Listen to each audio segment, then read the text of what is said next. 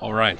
Uh, well, we'll go ahead and uh, get started this morning. If you have your Bibles, would you turn with me to uh, Matthew 22? Uh, Matthew 22.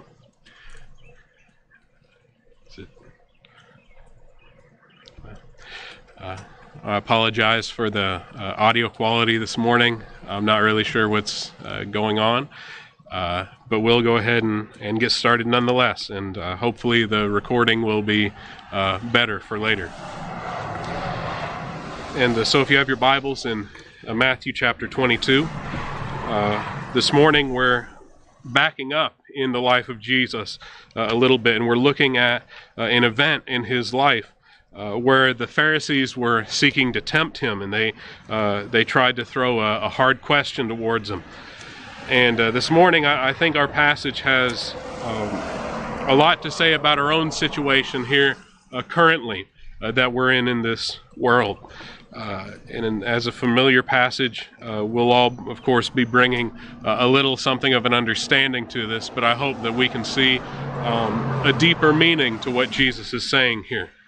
And so, if you have your Bibles in Matthew 22, this morning we'll be reading in verse 15 to verse 22 the scripture says, Then went the Pharisees and took counsel how they might entangle him in his talk. And he sent out unto him, uh, they sent out unto him their disciples with the Herodians, saying, Master, we know that thou art true, and teach us the way of God in truth. Neither carest thou for any man, for thou regardest not the person of men. Tell us, therefore, what thinkest thou? Is it lawful to give tribute unto Caesar or not? But Jesus perceived their wickedness and said, Why tempt ye me, ye hypocrites? Show me the tribute money. And they brought unto him a penny, and he said unto them, Whose is the image and superscription? They say unto him, Caesar's. Then saith he unto them, Render therefore unto Caesar the things which are Caesar's, and unto God the things that are God's. When they had heard these words, they marveled and left him and went their way. And now let's go to our Lord in prayer. Father God, we come before you and we thank you for the day that you've given us. Uh, Lord, we ask that you'd help us to use it for your glory this morning. And Lord, to render to you all that we have, Lord, uh, everything that we have to give, that we would turn it over to you this morning. Uh, we pray this morning that you would be with all of your people, Lord, uh, in all of the uh, services and all the homes that are uh, worshiping you this morning. Uh, we pray that uh, you would use us all for your glory, especially us here this morning, that you would send us out to preach the gospel and to witness Christ to someone this, this week. Lord, we pray that you'd give us the words to say there. Uh, be with our missionaries where they're at to the same end. Uh, be with our leaders and help them to know how they ought to lead us. And Lord, give us the uh, the wisdom to give them the due honor that's uh, that's that's due to them, Lord. Uh, never denying your uh, sovereignty over us. Lord, we pray that where we've sinned against you, that you'd forgive us and that you'd take us safely to the day of Christ. And it's in His name we pray. Amen. So, as I said, this morning we're looking at this event in Christ's life where the Pharisees, as they often did, sought to ensnare Jesus.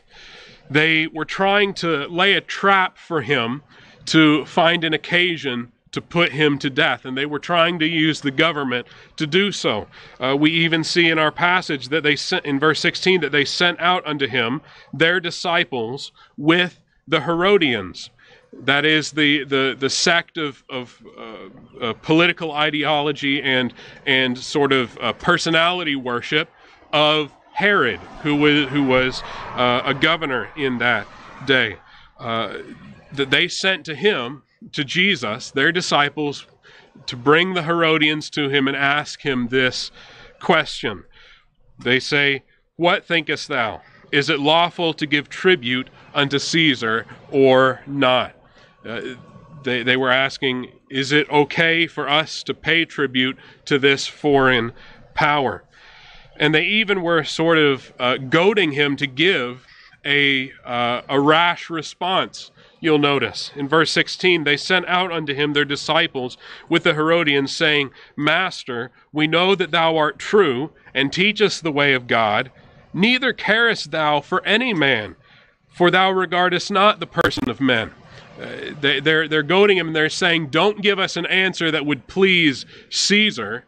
We know that you don't care about Caesar. We know that you don't give honor to uh, any man unduly, and you don't care to, to, to speak against men as long as it's in the way of God. And so they said, uh, What uh, what should we do? Should we pay to Caesar or not pay to Caesar?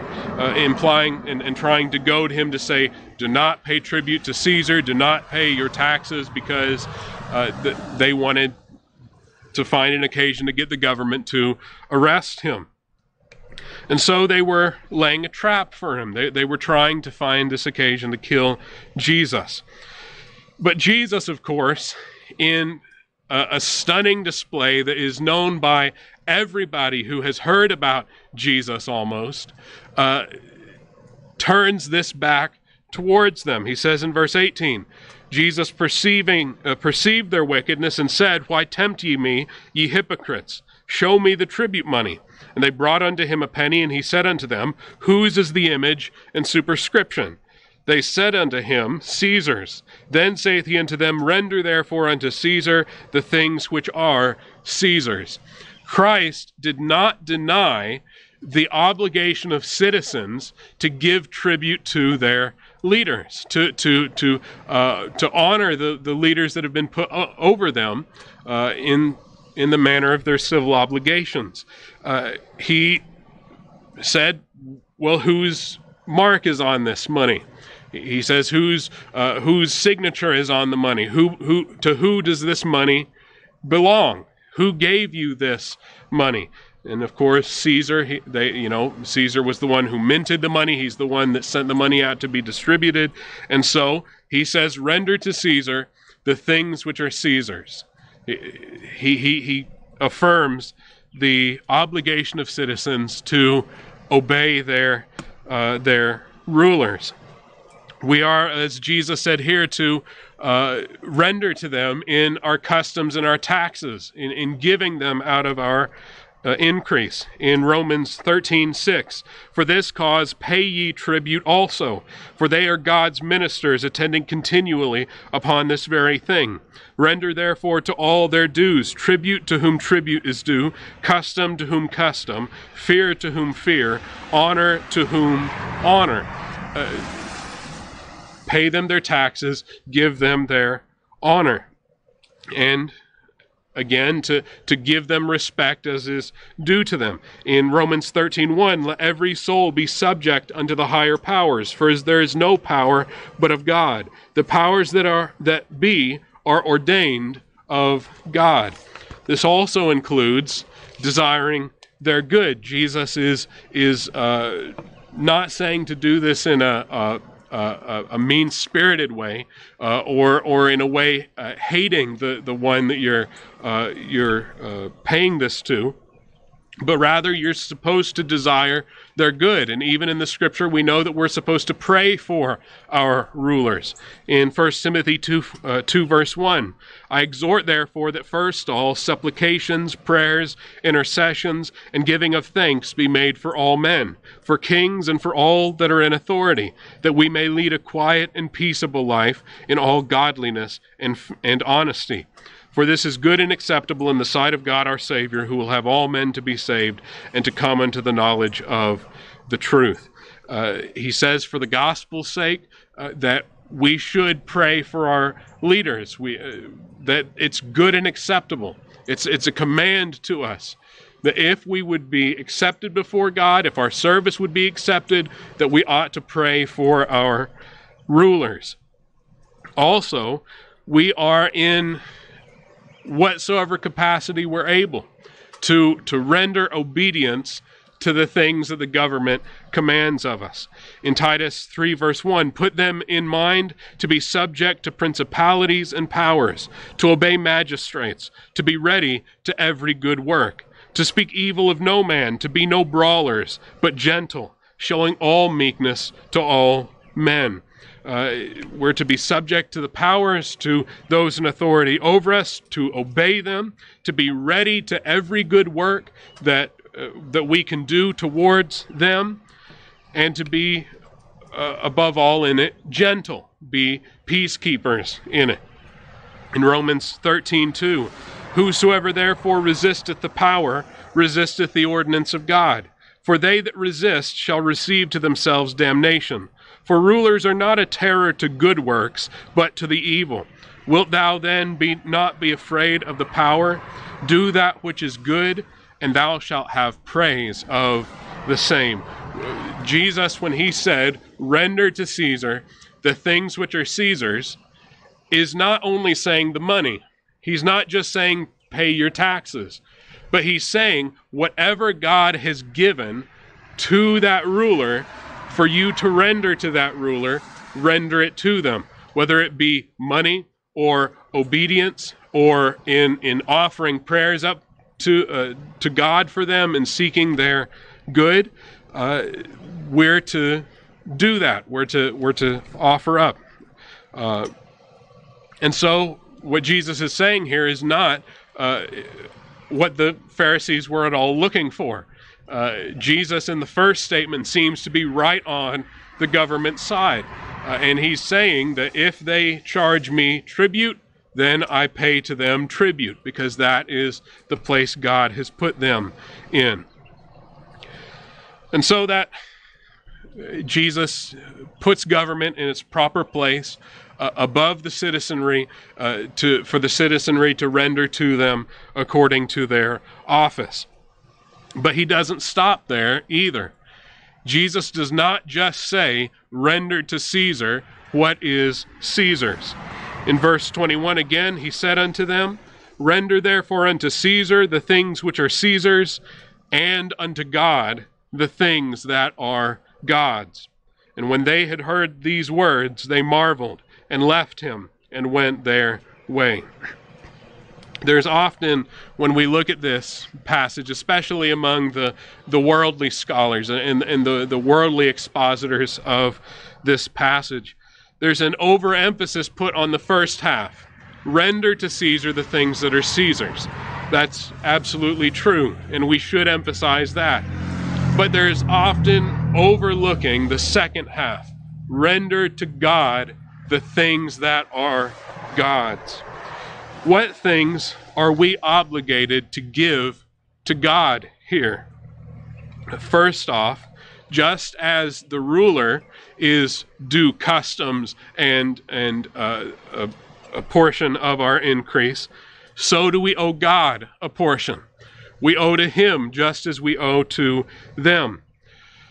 Do you think that the penny that was in Christ's hand that he said, Render to Caesar the things which are Caesar's. Do you think that that penny did not belong to God? Was it not his? Did he not make it? Surely the Romans digged up the copper or the, the other uh, base metal and they uh, forged it into coins and they sent it out and their superscription was on it. But in an ultimate sense, who does that really belong to? Of course, it belongs to God. God made it. God was the one who put it in the world. And so, just as it is due to Caesar, more so it is due to God also. Uh, primarily, it is His. And of course, He's commanded us to render custom to whom custom is due, uh, honor to whom honor is due, taxes, and, and all that. And so, because the money is His, we render we give to those in authority over us. In fact, it's the reason why we uh, have to obey that command that He's given to us, because it belongs to Him, because we uh, we ought to do with His property uh, what He desires as He's lent it out to us.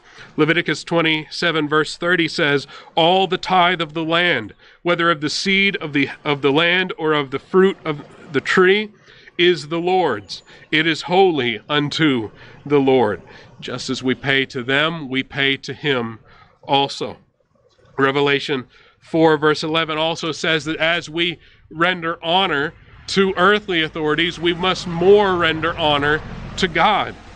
Thou art worthy, O Lord, to receive glory and honor and power. For thou hast created all things, and for thy pleasure they are and were created. We know that uh, as far as their moral uh, ability and, and their, their moral character, we know that politicians are not often worthy of honor that that they are are are deceptive, that they're slimy. We don't we don't say that they're always uh, good persons and worthy of honor. How much more is, should we then render honor to him that is worthy of all honor? And when he says, "Render honor to whom honor is due, custom to whom custom," then we obey him at his word. We also again owe God our service. Romans 12:1 I beseech you therefore brethren by the mercies of God that ye present your bodies a living sacrifice holy acceptable unto God which is your reasonable service. We're to present ourselves all that we are as a living sacrifice to God. And that's our reasonable service. That's the, the, the, the service that is, uh, that is uh, logical, that, that makes sense that we should offer our entire selves. Again, our uh, leaders, uh, the rulers of this world, often uh, exact unreasonable service. And yet, because of God, because of His command to us, we, uh, we ought to obey in those things that we have the moral leave to do so. And of course, we owe God worship on His day. Exodus 20, verse 8 says, Remember the Sabbath day to keep it holy.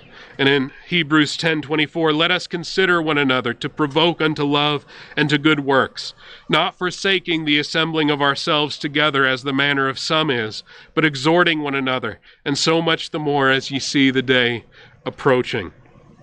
We ought to give God uh, all right and due service to Him, which is all service whatever we can do to bring him honor and glory, we give to him. And we have a greater obligation to do that than to the kings of this world.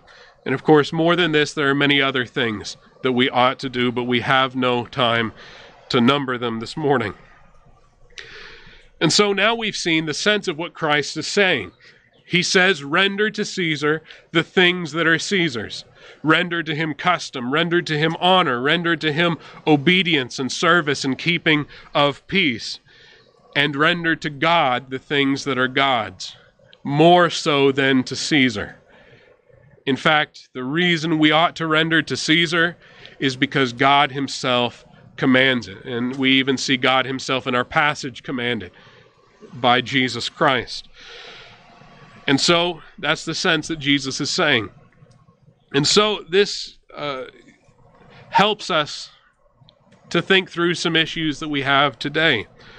What about when we have contrary commands from the government, contrary to what God has commanded us, contrary to what we owe to God as our reasonable service?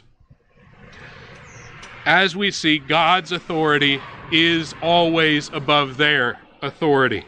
Romans 13:1 says there is no power but of God. The powers that be are ordained of God, just as we read earlier. Their power is subordinate to his power and comes from his power. If any have authority, if any have uh, uh, any uh, ability to uh, constrain men, God has given that authority to them whenever authority, a submission to authority is mentioned in the scriptures, it is always, and I would I would put money down on anybody who could find a passage in the scripture that does not that, that speaks to the submission to authority and yet does not also entail greater submission to God's authority or base the command to submit to authority on God's authority. 1 Peter 2, verse 13 is a great test case for this. We read, Submit yourselves to every ordinance of man for the Lord's sake, because of him, whether it be to the king as supreme or unto governors as unto them that are sent by him for the punishment of evildoers, and for the praise of them that do well. For so is the will of God, that with well doing ye may put to silence the ignorance of foolish men, as free and not using liberty as a cloak of maliciousness, but as the servants of God. Honor all men, love the brotherhood, fear God, honor the king. How many times there did he mention the authority of God? That, that we ought to submit, we ought to be peacekeepers, we ought to render because of what God has told us in his authority. Notice even our own passage is in the context of the law of God. What has God said about this? In verse 17, tell us therefore, what thinkest thou? Is it lawful to give tribute unto Caesar or not? And of course, he said, Render to Caesar the things which be Caesar's, and unto God the things that are God's. It's a question of the law. What has God said? What is his authority that we should do in this thing? And so the, the answer becomes obvious when we hear about contrary commands, when we hear in our own nation that uh, many churches are not even being permitted to meet in a parking lot service like we're having this morning. They are being forbidden to gather together. They're, they're told to forsake the assembling of themselves together. The answer is that God's authority and our obligations to Him always supersede our obligations to the government. We ought to meet together because that is what God told us to do. And so we should we should obey him. I'd just like to, to mention a few examples in the scripture. Again, over and over again, when we see contrary commands in the scripture, we always see that the right thing that's advocated for is to obey God rather than men. In Exodus 1:15 we read, "And the king of Egypt spake to the Hebrew midwives, of which the name of the one was uh, Shiphrah, and the name of the other Puah. And he said, When ye do the office of a midwife to the Hebrew women, and see them upon the stools, if it be a son, then ye shall kill him, but if it be a daughter, then she shall live. But the midwives feared God, and did not as the king of Egypt commanded them, but saved the men children alive. Pharaoh was the authority in that at that time. Uh, his uh, seat of power was given to him by God. God gives authority to whoever he pleases. And so he had, uh, people had obligation to render to him, to, to give custom to him, to obey him and keep the peace in his land. And yet, when the Hebrew midwives were commanded to do something contrary to the law of God, they did not do it. They obeyed God rather than men. Consider 1 Kings 18 and verse 3 about Ahab and Jezebel. The Ahab uh, called uh, Obadiah, uh, which was the governor of his house. Now, Obadiah uh, feared the Lord God, uh, for it was so when Jezebel cut off the prophets of the Lord that Obadiah took an hundred prophets and hid them by fifty in a cave and fed them with bread and water. So, what happened there? Jezebel, the queen of Israel, Ahab's wife, had commanded all the prophets of the Lord to be killed. But this man, a faithful man, took them and hid them in a cave and fed them with bread and water. He disobeyed the commands of the civil authorities. And yet we know that he did well and that he was blessed for this. In Daniel 6, verse 6, we also read about Darius and Daniel. Then these presidents and princes assembled together to the king and said unto and said thus unto him, King Darius, live forever. All the presidents of the kingdom, the governors and the princes, the counselors and the captains have consulted together to establish a royal statute and to make a firm decree that whosoever shall ask a petition of any god or man for thirty days, save of thee, O king, he shall be cast into the den of lions. a command just not to pray to anyone, not to ask a petition or, or, or a favor or anything from, from anybody for 30 days, uh, except to ask it of the king. But in verse 10, when Daniel knew that the writing was signed, he went into his house and his windows being open in his chamber toward Jerusalem, he kneeled upon his knees three times a day and prayed and gave thanks before his God, as he did aforetime. Daniel disobeyed the civil authorities. Daniel continued to worship God in his common way. And so he was cast to the lions. And of course, we know that God delivered him. But he disobeyed, and he was counted faithful when he disobeyed the authorities. We could continue and talk about the rulers of Judah. We can talk about the Roman authorities and times when the Christians disobeyed them to meet in uh, worship to God. We can even talk about modern examples of those in persecuted countries who, for meeting together, would be thrown into prison or killed, or any other number of things could be done to them simply for meeting together and worshiping God in the common way. And we know that they are counted faithful. And we know that God's authority is above the authorities of this world. And so, believers, I wanted to wait until after Easter to deliver uh, this sermon. And that's because uh, around that time, of course, we needed strengthening in the Lord. This was all beginning, and we needed to look to Jesus Christ and what He's done for us. But I would like to ask your patience for a moment if I admonish us all a little bit. Will a viral pneumonia and the unlawful commands of certain governors in this nation steal away our vigor for worshiping God?